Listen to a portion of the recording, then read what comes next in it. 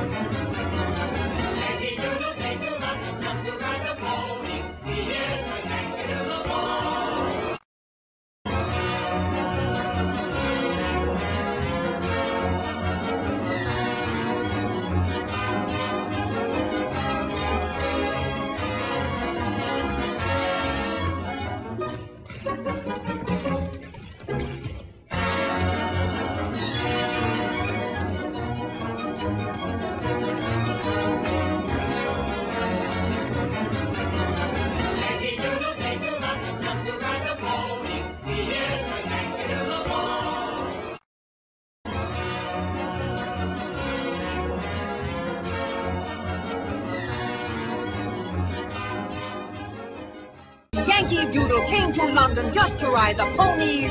I am that Yankee Doodle boy.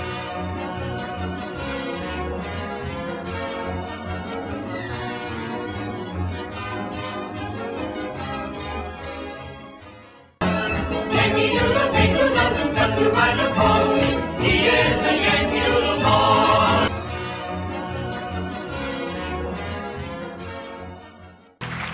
estimated that all those signs promoting Stephen Harper's economic action plan will cost taxpayers up to $45 million. Critics complain that the signs are a waste of taxpayers' money and do nothing to stimulate the economy, but only provide the Prime Minister with a backdrop for a never ending series of campaign style photo opportunities.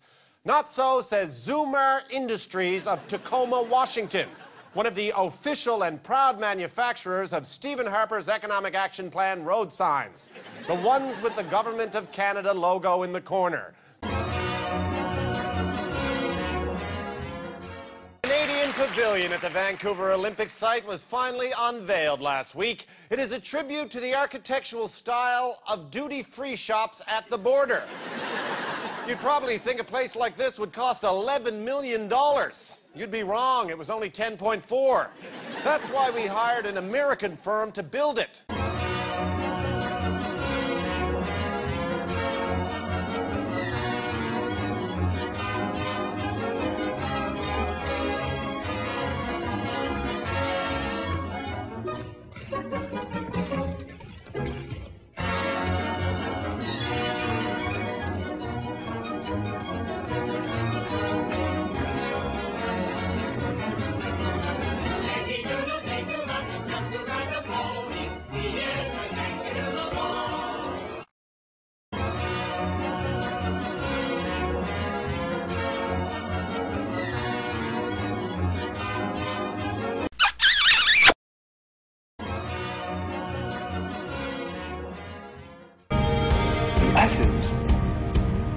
S's. Without hope.